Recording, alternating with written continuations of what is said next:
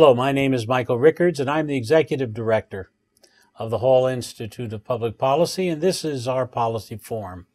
Today, our guest is William J. Richards, who is our Director of the New Media here at the Hall Institute of Public Policy. The world has changed enormously since the Hall Institute started. We were a simple website, which was new at that time, which now has over 400 entries, past and present. And we've moved into what's called the new media, or the social media. Uh, we first did a uh, very well received virtual debate, one of the first in the country and the first in the history of New Jersey. And we then did other aspects of the so called social media, including this very show, as well as uh, radio, blog sites, and a variety of new ways of communicating with people. Some are very short, and some are much more pro- pronounced and long. And so I'm very pleased to be able to talk about those developments with uh, Bill today, but also to talk about an area that both he and I are interested in, and I think many of you are, and that's the future of NASA, the great romance of the person in space. William, welcome. Glad to have you here. Well, great, great to be here. Thank you for having me. Now, what's happened here to NASA? I went down and I understand went down to what used to be called Cape Canaveral, Cape Kennedy, and they were celebrating the the end of the manned space mission. We fought so hard to get somebody up there in the beginning. Why are we fighting now to close it down? Well, I think celebrates a bit strong. Uh, there's there's a, great bittersweet sentiment regarding the end of the uh, the shuttle program. Um, you got to remember that the previous programs that came before, uh, Mercury, Gemini, they didn't get mourned when they ended because when Mercury ended, Gemini was sitting on the next pad over. When Gemini ended, Apollo was was ready to take off. There's nothing on the drawing board that's ready to go tomorrow right now. And uh, not only does that mean that America doesn't have any capability to put men and women into space on their on our own, but it also means that uh, on a more personal level for, the, for, those folks down there at Cape Canaveral, a lot of people are out of a job. An awful lot of people there who are highly educated, the best and, and the brightest of uh, of their generation, who will no longer be working in the space program. Now, when you look at the space program, someone has said to me that if Americans want to go up in space, they're going to have to buy seats on the Russian program. That's is right. That, is that a correct statement, or is that just hyperbole? That's right. That that's the operational plan right now. There are uh, there are three people in space right now. Uh, there are two Americans and, and, and one Russian. Uh, and I'm sorry, there's there's six. They they were just joined by another another crew. I, uh, I believe it's I don't know the I don't know the ratios right this moment, but um, and all of them went up on Russian hardware. They went up on Russian Soyuz capsules. Now, uh, this brought in, uh, in, a new unique problem just last uh, last month, a couple weeks ago. The same rocket that launches these Russian manned capsules, these Soyuz capsules, uh, had a catastrophic failure with an unmanned supply vessel, and Russia has grounded their rockets pending an investigation of what, the, what, what caused the failure because it's the same rocket, it's a different capsule, but it's the same rocket. And so until they, they know what the problem is and, and if it's safe safe to, to resume flights, they're not going to put men up at all.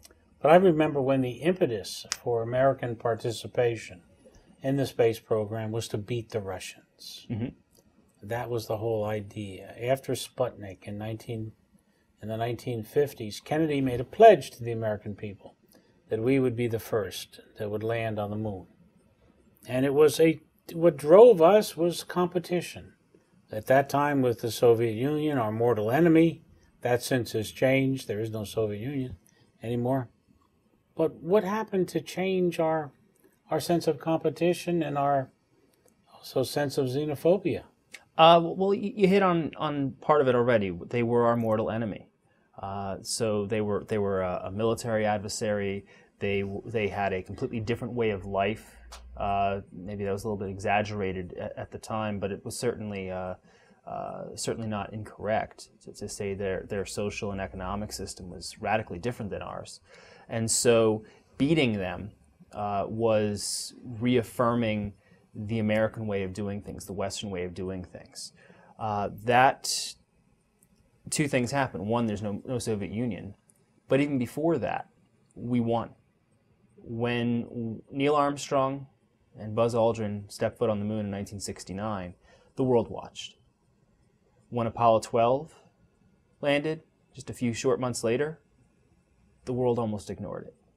People who were very, very interested in the space program continued, um, but networks weren't even carrying Apollo 13 until the explosion happened on it. Um, that was only two missions after 11.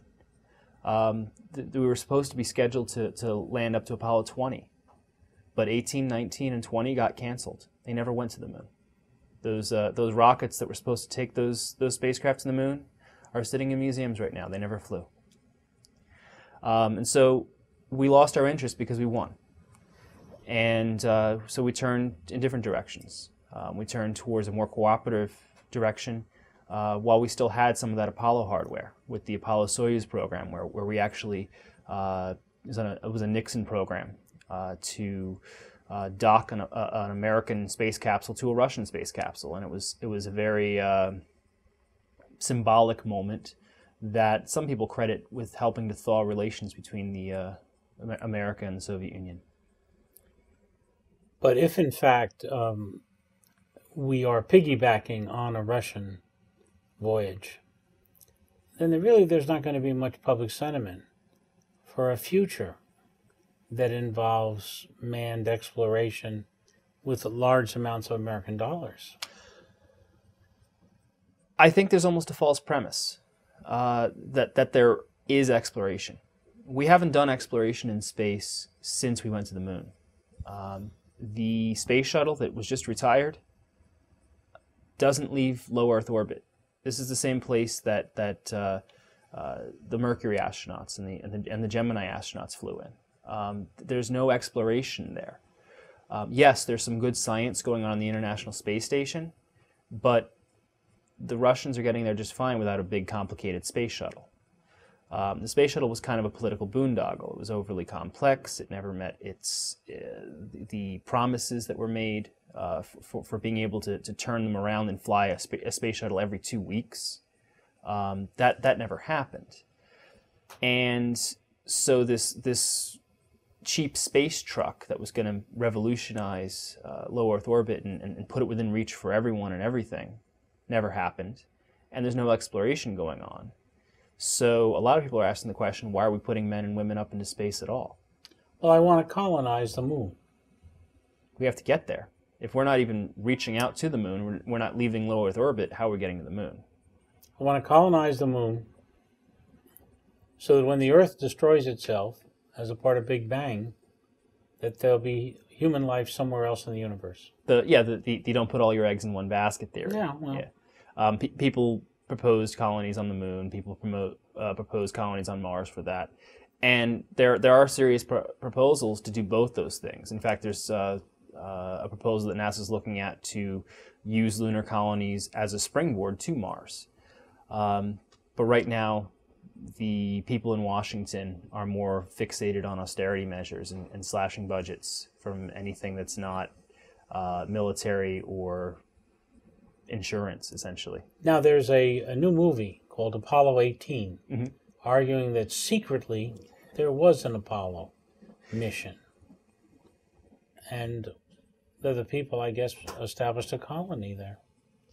I, I haven't seen the film. Uh, I've been uh, uh, tracking it since it was in production, though, and I, I, know a little bit about it. It's it's just taking advantage of the fact the um, the actual historical fact that we did have additional rockets ready to go for Apollo when uh, when the program was canceled and they said that the reason was canceled wasn't because America lost interest and the Nixon administration wanted to wanted to uh, cut the budget from a program that wasn't popular anymore, but instead they sent one more mission and it found aliens and a secret uh, Russian cosmonaut lander that that uh, had perished before, and that's the reason that the mission was classified. I'm going to have to see that, I guess. It is in that direction.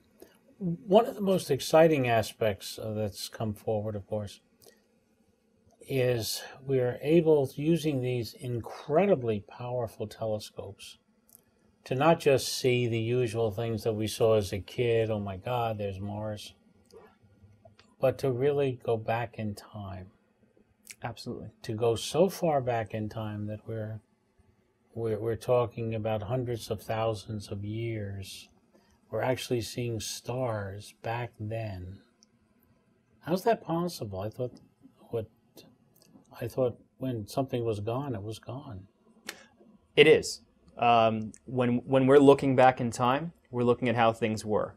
Those things may not be any be there anymore, but the the the, the gotcha, the, the loophole there, is that light travels at a fixed speed through space, 186,000 miles per second.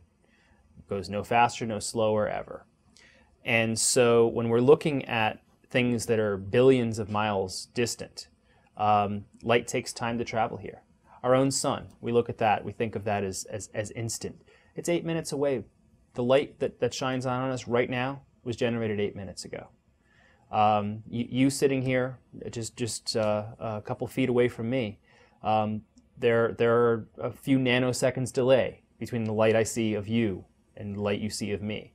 Um, and when we're talking about these dramatic, dramatic, vast expanses of, of uh, interstellar, interstellar and intergalactic space. Um, you, it can add up to billions of years. What uh, we we're looking ma- mainly at the uh, um, the older uh, telescope, but there are new, more sophisticated ones now. Mm-hmm. What do they allow us to do? There are there are evolutions in in, uh, there are similar evolutions where you can just do more of the same. You can see further, you can see fainter objects. Then you get to levels where your capabilities allow you to do things that you just couldn't do before. Uh, for instance, there's a revolution right now going on with what are called exoplanets, planets that are orbiting stars that are not our own. Um, I'm not sure when the first exoplanet was discovered. I, I believe it was in the 90s. Before that, we only theorized that there were planets outside our solar system. Uh, then, in the 90s, we began to, to infer that exoplanets existed by the way that stars would wobble. We could tell something was orbiting, orbiting around it. Later, as the instrumentation got better, we were able to actually uh, do what's called uh, uh a transitive, uh, transitive observation of a star. And the instrumentation is so sensitive that as a planet passes in front of its parent star, that minuscule dip in brightness can be detected by the instruments and, and the, uh, the planets can be observed that way. So, so planets too small to really uh, create a, uh, a large wobble are able to be detected. We are, you and I, on the third planet around the sun. Yes which it turns out is really not in the center of the Milky Way, but on the edge. Yes. And the Milky Way, in turn, is a rather insignificant constellation in the much larger universe that we're a part of. Yes. Should that teach us humility? Uh, ask ask Galileo. Uh, he uh, uh, I don't want to go that route. I know, what happened, I know what happened to him. I don't want to end up in my living in my house for the rest of my life wearing the the, the medieval equivalent of an ankle bracelet. from, from a from a from a stellar from a stellar standpoint, we are average. We are we are mediocre. We are we're a, a small planet orbiting a mediocre star in a in an average galaxy, and that doesn't sit well with some people who like to like to think of think of us as as special. Um, but there's, I think it was Carl Sagan said, there's only two possibilities: either we're alone in the universe, or we're not. Either possibility is staggering. Okay, if we're alone in the universe, then we are indeed a unique, indeed unique. I was going to say unique species. That's not even the right word. Mm. Um, if we're not alone, then there are a whole bunch of. We always assume that if we're not alone, the other people are a lot brighter. You know, the Rod Sterling, Rod Sterling um, ethos, where whenever people come down, they're always brighter and they're looking at at, at, at, at Earthlings saying, what fools these guys really are. But suppose they're not. Suppose they're really just amoebas. Well, the reason for the assumption that they're always brighter is because for a civilization to either travel to another star or communicate with another star, it has to be at least as advanced as, as, as we are right now. We had no prayer of uh, communicating with another star 150 years ago. There wasn't advanced radio communication then. Um, so when, when you're talking about civilizations that are, that are thousands, tens of thousands of years, years old, just to get to radio, just to get to the first invention where you have, have a possibility of, of any kind of interaction with the rest of the universe, um, that means that right now we are at the very baseline, which means by definition anything else that interacts with us Must has, be has, superior. has to be equal or superior. Um, but but people who believe that there is life elsewhere believe that yes, the there there are planets that just are still All, all of the things that we see on these magnificent telescopes, I love to look at those pictures. And um, what's his name? Uh, the, the, the physicist from Cambridge, uh, Stephen Hawking. knows. Hawking just did a, a, a, a piece on television, two or three part piece on television, where he showed some of these pictures of the universe.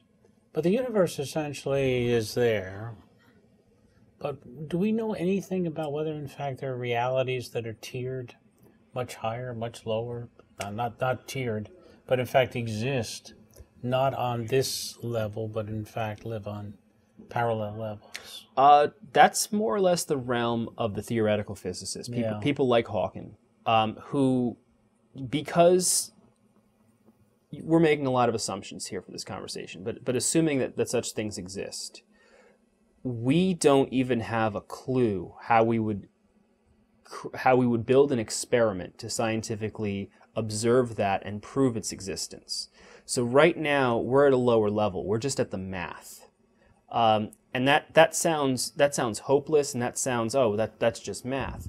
But that's how Einstein got relativity. Right? And right now, I got to, I got to this to, to, to where I'm, I'm sitting right now for this interview with GPS satellites with, with GPS that works on satellites that wouldn't exist without his theory of relativity. And, and, and the power that's generated here is, is, is coming from you know a nuclear plant 20 miles away that, that wouldn't exist without his theory of relativity.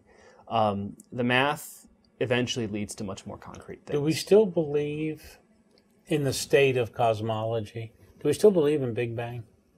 yes, That, yes. that the- the Earth began with a Big Bang? well, the, the, the universe did. We can we can I'm sorry, the universe, all- everything that we know, that we look at, that we see through these microscopes. there's there's there's very little question that the universe began at a single point because as we observe the universe we can see it's all spreading out everything is moving away from everything else and so so they know that at some point everything was together and it stopped being together and started spreading out now the mathematical models go a little deeper and try to theorize as to okay what is what does this mean How, why were they together and what happened before but the instant of the Big Bang is pretty much where our ability to even guess stops. And where do we stand? In the beginning, there was God. Uh, science doesn't really have a lot to say on that, unfortunately. The uh, the science, uh, the That scientific, was the original Big Bang. yeah, the, the the scientific community either either ignores it, well, just generally tends to ignore the question of God. It is. Um, our, our, we've given up on the manned space flights, as we've talked about. Have we given up on the telescopes? Are we letting those be made in the mountains of Switzerland rather than in the mountains of North Carolina? Uh, believe it or not, a lot of the the selections for telescope locations have to do with uh, more practical concerns can than, you than can you can you see through the exactly exactly uh, uh, Hawaii, Chile, uh, high altitude, so you're looking through less and atmosphere, not a lot of pollution? and more importantly, not a lot of uh, uh, dry climates. If you don't get a lot of rain, you don't, you don't have a lot of days where it's cloudy. You have better observation. It's it's not great to build a, uh, uh, a telescope outside Seattle or dry in Hawaii. London. It's dry in Hawaii. Uh, it is it is above the clouds. as we look at we we tried to put on the whole website uh, the report of NASA about its future, Mhm. and I wasn't quite sure that I was terribly inspired by it. But what did you? What did you? What, where do you see us going in the next five years? Everything's Ten- up ten in years. everything's up in the air. Um, there was there, there have been two major attempts at a program to to replace shuttle. Um, one and a half maybe. Uh, there was a, a constellation program that that morphed into something else and now is perilously in jeopardy of becoming nothing. Uh, there's also some proposals for private spaceflight. Um, SpaceX uh, has been demonstrating to NASA it, it's it's it can flex its muscles and has been putting satellites into orbit for a long time. They now have a, a crewable vehicle that just got What's the one that's going to allow you to go? So buy buy tickets, literally. People to buy tickets like me to. that's into space. that's Where am I prob- going to end up? that's probably a little bit ways down down the road. But but what I was talking about with SpaceX, they have just received permission from NASA to take their their new capsule, which is still untested, to International Space Station, which means for the first time, a commercial entity will be able to put people What's it going to cost me to get a, a, seat? It's not open yet. Um, right now, if you're not a space agency or, or something like that, I really want to do that. it's it's it's going to be astronomical for the for the time time being. Does that it's- mean over five thousand? yeah. Uh, if Okay. the uh, the estimates are something like ten thousand. It costs ten thousand dollars to launch a pound into orbit. So I better lose weight. Lose some weight. Yeah. Yes. Well, I think that it has all sorts of great possibilities. Is it just because this administration isn't interested in space? I don't think that's it. I think this administration is uh, being torn in a lot of different ways. And they're reluctant to make a stand on a program that, unfortunately, the American people don't see as very vital right now. And they are extremely reluctant to be seen as uh, big spending liberals. Well, it's the same problem that Kennedy had. You know, instead of instead of uh, uh, landing a man on the moon, why don't you fix Detroit? Hmm. You know, and it's harder for Democrats to deal with that than Republicans, who don't really care about what happens to Detroit. If you look at the Clinton, uh, uh, um, if you look at the Hall Institute here, uh, what do you see uh, us doing? And certainly not as dramatic as the types of things you've been talking about, but to move into the next range of media that we're in. I'm watching, for example, as Facebook, which I really don't care for, is is taking away so much business from some of the what we used to consider some of the newer social media. Hmm. What uh, what do you see us doing so that we'll be in the forefront? Not uh, for sharing technology, but really for the purposes of processing information.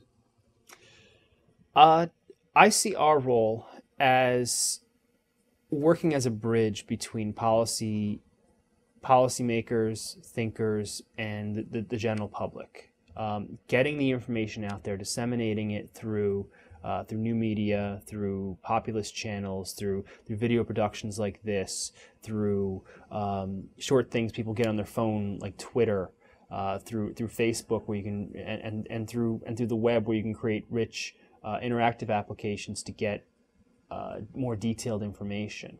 Um, you What's take the next Facebook?